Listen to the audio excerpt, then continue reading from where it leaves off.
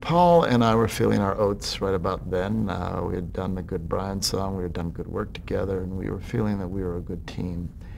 And my dad's company, Danny Thomas Productions, was dormant after all those years of doing so many things. And so I went to Dad and I said, uh, you want to light this place up again? And uh, Paul and I will run it. And he said, sure. And we did that. It was kind of an interesting thing to do it for me because, you know, uh, being the son of Danny Thomas is not uh, always uh, the greatest thing to do, uh, to be in the business. It, it opens doors, you know, certainly, but uh, uh, it, people look at you as potentially probably a loser or somebody that's only here because of that, because of who you are. So you've got to work much harder and smile a lot and no job too small which is what I've told every in-law or relative I've ever had who I've given a start to, is there is no job too small. You smile all the time and you do twice as much as everybody else. Otherwise, you don't get to keep the job because people think you got it. If it's a tie, you lose, in my opinion, uh, if, you, if you have connections. So uh, that's how I helped train relatives of mine, and that's how I looked at it. That was just my credo, and I went out of my way my one goal was to always have people say, and they used to say it a lot as I was coming through, was, I didn't expect you to be this good. Or, you know, I had a whole different impression of what you might be. I didn't think, you know, it, so that was always my goal, was to, to have people feel that. I know many thought it, and many, many people said it, which may, always made me feel good, that they did not expect me to produce as well as I was producing, not you know, whatever I was doing for them at the time, and the attitude at which I took it, took the job. And so going into Danny Thomas Productions was going to be fun because Paul and I are going to run the place, but not sure it was going to, you know, it had a little bit of a, uh, I was a little, angst, had a little angst about it. And uh, it was fun. It was fun. We, Paul and I had a ball. It was fun to be, be the bosses and uh, and we called our own shots. Tried not to lose too much of my dad's money, uh, which we didn't. And uh, we made some very good product there. We made a movie called Bloodsport that I'm very proud of with, uh, uh, oh God, Ben Johnson and Gary Busey, um, which was really terrific. And we did the practice while we were there, which was great with my father. It was a role that was just an extraordinary role written by an extraordinary writer, Steve Gordon, who wrote Arthur. Uh, and uh, Steve was just one of the great talented writers of all time. Unfortunately, died very young. Heart disease was in his family, and he died young. But he wrote a great part, and from the moment we started talking about it, I was thinking about my dad for this because I know he wanted to do something. And uh, we, uh, the script came together wonderfully. And it was kind of like the last angry man of doctors, the last really good doctor in town that made the house calls, that gave a damn about his patients and so on. And uh, I went to NBC at the time, and I said, uh, uh, those were the Marvin Antonowski days.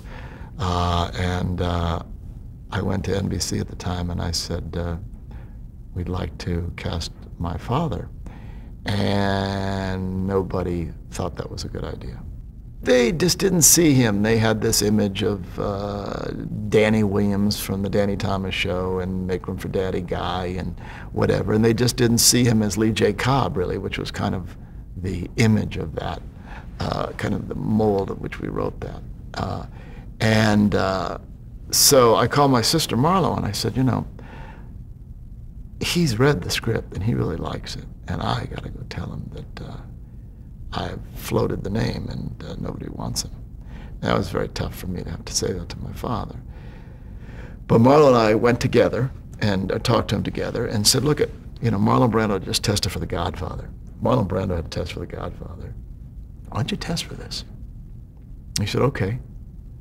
And uh, because, you know, if, uh, thankfully we had the Marlon Brando thing to tell my father after, you know, all those years on television and after producing, uh, you know, all these hits with Sheldon and everything and, and all of his television specials that were record-breaking television specials at the time in the top five all the time. And uh, uh, he and Bob Hope had this record of all these the highest rated television specials of the decade. And uh, I had to go tell him that the network didn't want him. It was very difficult. So we gave him the Marlon Brando uh, uh, analogy, and he let his hair go grayer. We put a mustache on him, and Chuck Grodin, who's a very good friend of Marlo's, worked with him as the director, and we did a couple of test scenes. And then Marlo went in and asked for an interview, asked for a meeting with uh, the NBC gang, and they said, sure, great, because they wanted her back on television yesterday, you know. So she went in and uh, uh, they took the meeting. She said, I want to show you something. And she put in the cassette of Dad, and uh, he, they said, wow, that's great. And he got the part. And we got a telegram uh, when we got picked up. And as it does sometimes when they want to cement the deal, the telegram said, that we were picked up for pilot plus 12. And Danny Tom, the part of Jules Verne, Danny Thomas is of the essence. In other words, they're not going to pick this up unless my father plays this in the telegram. So I gave him, I framed that and highlighted that and gave it to my father, which was quite touching for me. Now, how was it working with your father on that level? It's a pain in the ass. uh, when I said he was, he was great. He was great. Uh, he had two lines of thought about it. One was, if I raised you right, and you, then you are right with what your point of view is, or I was making people laugh before you were born. What do you know? It was it was somewhere in between, you know, depending on the day.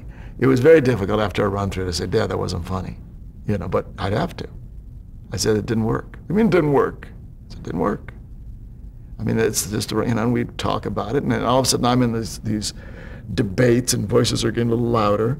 Uh, like when I was, you know, I'm like a kid on his own set, you know, but now I'm the boss. And so, you know, you, you, you feel a little shorter when you're talking at that moment in time because you do have memories of being a child with this man. Uh, but uh, overall, it was a great experience. Uh, he was as happy as could be. He loved, loved playing the part, and we loved producing it for him.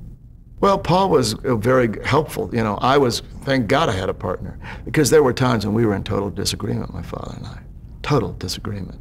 And uh, usually Paul, um, well, I would say 90% of the time, Paul and I were on the same page about something. So having Paul agreeing with the point of view was helpful. But I, you know, I don't think I ever truly lost a battle with my father. Uh, if I, if there need, I mean, there weren't that, you know, there weren't numerous battles, but there were the usual give and take discussions about how to do something. And if, and if it didn't work, we'd do it twice, you know. Okay, so let's do it again, but let's do it that way too, you know. So we have choices.